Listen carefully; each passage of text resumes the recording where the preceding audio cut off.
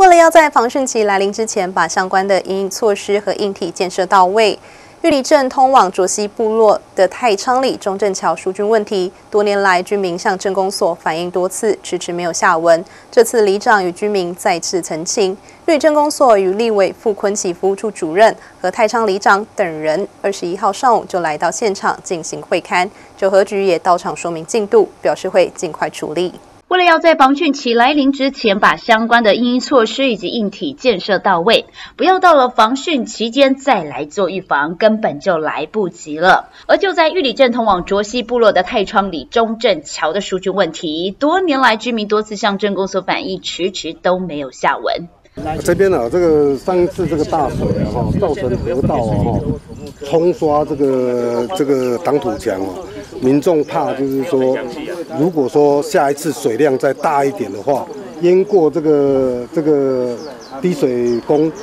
就会刮刮到他们的那个土地，怕这个有这个疑虑。这东西，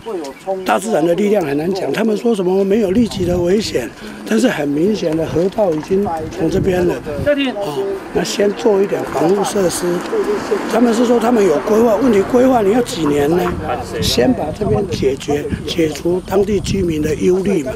玉里镇公所表示，这个陈情案已经好几年都没有得到正面的积极回应以及做法，现阶段评估是有立即危险，并且必须要尽快执行的案子，也会立刻跟九合局来反映，尽快给居民一个安全的桥梁。在河道上的这种管理呢，是有必须要立即来做的，因为。这个黄汛期呢，马上就到了。那么，在这个黄汛期未到之前呢，上先让民众呢能够安心的住在这边，这是我们公所的立场。这次里长跟地方居民再次陈情，玉里镇公所跟立委傅坤奇服务处主任与太昌里长等人，就在四月二十一号上午来到了现场进行会勘。九合局到场也说明进度，表示会尽快来处理。记者高双双玉镇采访报道。